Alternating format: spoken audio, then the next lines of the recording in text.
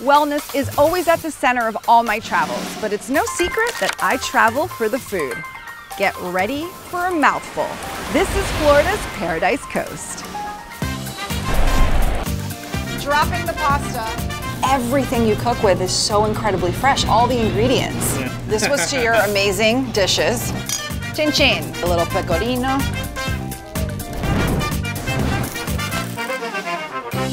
I get to support a family business, indulge in an incredible salmon dish, and dig my toes in the sand.